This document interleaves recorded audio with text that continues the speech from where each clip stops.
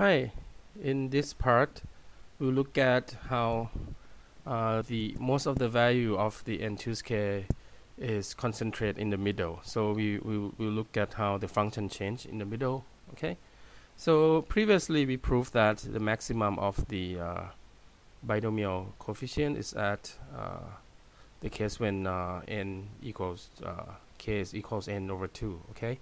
Um, and from the graph you can see that most of the thing will be here and then it drops pretty quickly down to zero. So one of the thing uh, are, are around the middle here. Okay so so so in this part of the lecture we'll look at how, how that thing works. Okay so because we only consider only even n so we'll let uh, we will we'll use m instead. So we'll let 2m equals n. Then we can say uh, 2m and m okay? To to mean uh, m to m is n and m is n over 2 okay?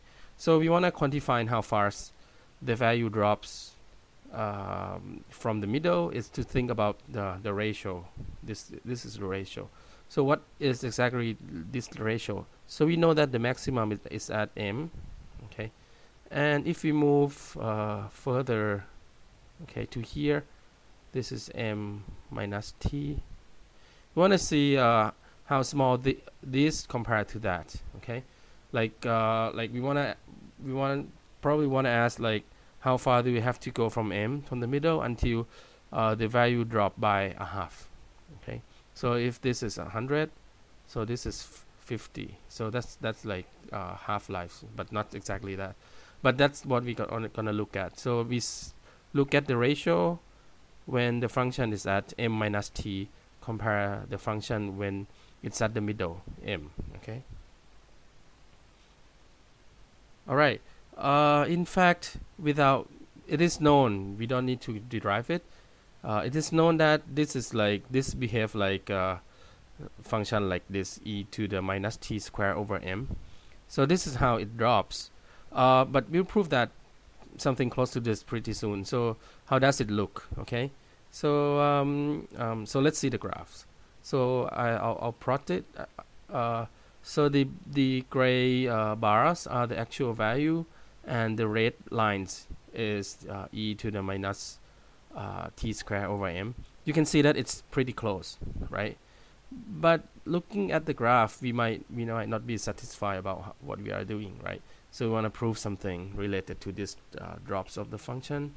So let's try to use our uh, known tools for estimating this value and to see how can we uh, we get a bound that is close to this uh, this bar is pretty close if you look at the, the graph right? It's really really close. We get a bound that looks like this but not as close okay with our our elementary tools okay? All right so um, because as as we did before uh, dealing with number less than one with logarithms like it's hard because you're gonna get negative number and everything will be like crazy okay? So uh, we look we work on the reciprocal so uh, instead of calculating the ratio between 2m choose m minus t over 2m choose m we calculate the ratio uh, the the reciprocal of that ratio. So this one is always larger than that so you you get something larger than 1 okay? So if you do that uh, then uh, you plug in the numbers so 2m choose 2 is this thing, and 2m choose m minus t is this thing. Uh, but uh, it's divided by that, so I, I, I flip the side. Okay, so 2m factor is here, and this is the what used to be the denominator. Okay, so you expand it and rewrite it, and you get this. Okay, because 2m cancel out, and um, uh, m here cancel out. Okay, so you get uh, okay? All right so so you get this bound okay? So this is the number this is a ratio between uh 2 to 2 to m choose m over uh, uh 2 m choose m minus t okay? How can you derive this yourself? All right so you can just take a look okay? Um all right to see that you get this derivation uh this is 2m minus m right? So it, it's just m right? So this is m plus t factorial and it sort of it's cancel out with uh, m right? So you get m plus t m plus t minus 1 until you get to m plus 1 here all right and this is m minus t factorial so uh, it cancel out with this m factorial. So you get m factorial m minus 1 up to uh, m minus t plus 1 here. So this is this is what left of m factorial. This is what left of m plus t factorial. Okay so you get this bound okay and again uh, we can use the same trick because this is a product of many things right? So it's a product of m plus t over m times m plus t minus 1 over m minus 1 times something up down to m plus 1 times uh, over m minus t plus 1 right so the product is hard to deal with so we will just take the log and see the see the addition the sum of this uh, factor instead. Okay so let's take the log. Now after you take a log you get this okay? So when, when we have logs we know that we have a bound on on on the the log function right? Log natural log function. So use it here. So that's the bound that we used before when when we analyze the birthday problem okay so the upper bound is uh, of of ln x is uh, x minus 1 and the lower bar is x minus 1 over x.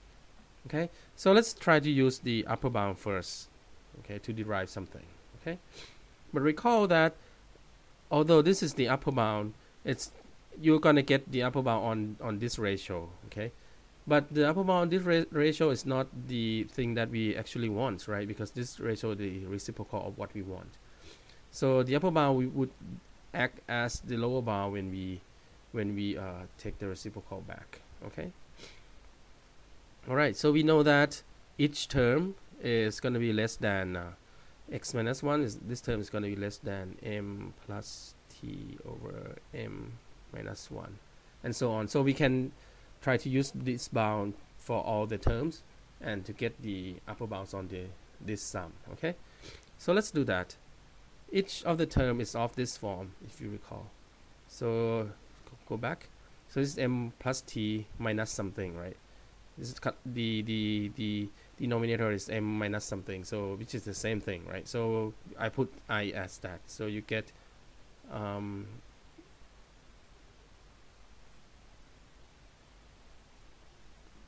oh okay. So this is uh, this is wrong. So this has to be uh, m plus t minus i over m minus i. Okay? All right so this is a log this is the the the the common forms. So we plug in this is our x it's going to be less than x minus 1 and do some work. So this is minus 1 so you get minus m plus i here. And this subtract this cancel out m and i. You get t equals uh, this is going to be at most t over m minus i okay? We put the upper bounds into everything so we from this from the sum of the logs is gonna be the these terms okay? So this term is upper bound by this this is upper bound by that the last one is upper bounded by this one okay? All right but the denominator is not the same so it's it's hard to deal with. However note that this is the smallest uh, denominators so if we round everything down to this number we're gonna get uh, the value is gonna increase right? So we get we still get the upper bound. So we lower bound m by this m minus 1 by that okay? And now they're the same right? And there are how many terms? There are t t terms here okay? So um, you sum up and you get that it's t squared over m minus t plus 1 now you can put that in to the formula so we know that the log natural log of this is at most that. That is if we put back so so uh, uh, put back the e you get this equals that and this is like less than e to the t square over m minus t plus 1 okay? All right and and you turn it back and then you get this okay? You see that this is like at least this much okay? Now the actual uh, approximation of this value that I showed you before you remember that is this. Uh, okay. Uh, you can do the same to get the upper bound on this okay? And that, that you that would you do in, in, in, in the homework probably. So you get the derived uh, estimates uh, using elementary tools okay? So if you want to compare this with the uh, actual uh, the the uh, the better estimate that I've shown you before it is this. So um, instead of uh, e to the t square over m you have on the lower bound you have something something that subtract from m. On the upper bound you have t plus m. So this is a little bit uh, lower this is a little bit uh, higher. So that's that's what we can derive. Okay all right so why do we need to derive all this? Okay because we want to see how fast thing drops okay? So let's use the better estimate okay? Now um, we can uh, try to do some calculation to get to figure out uh, the value of t which is how far you go from the middle. So if you given a constancy say if you want to see uh, how fast thing drops down by a half so we can set c to be 2 okay? So we want to uh, we want to figure out the value of t such that this thing this the term of the middle is less than the middle over c okay? So if c is 2 then it's dropped by half okay? So um, we can state the inequality like this okay? And we solve it by just take the logs and do some math and we get that uh, okay take the log. So you get that uh, natural log of 1 over c has to be larger than uh, t minus 1 over m. And you do some math you get that uh, if t is larger than this uh, square root uh, m natural log of c then you can roughly be sure that it's the value dropped by a factor of t of c here. So let's try to be concrete. Okay so look at you can look at the, the graph here so now we have uh, this is n. So m is uh, 20 okay and the largest is here at the 20 right largest. If we look at the value when things drop by by a half so we plug in c equals 2 and the previous while says that if t is larger than square root of two, 20 times natural log of 2 then you likely uh, you you you drop uh, the value drop by a half so this is 3.7 uh, so 20 minus 3 so it's like 16 right?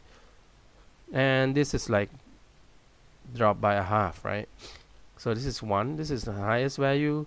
It's dropped by a half and you you you add 16 and this is like pretty close right? This is uh, you have to subtract by uh, 3.7 and if you do that then you get to 16 right from 20 uh, or if you add by uh, uh, something almost like 4 4 you get to 20 and this is like about a half so this is the bound that we can derive using elementary tools and estimation technique that we have learned uh, before. Um, this is not the core materials of discrete mathematics, but it's uh, present a nice technique for estimations and, and, and reasoning about functions that we are interested in. Okay, so uh, so this is it for, for the binomial coefficients. In the next lecture, uh, we'll look at Fibonacci numbers.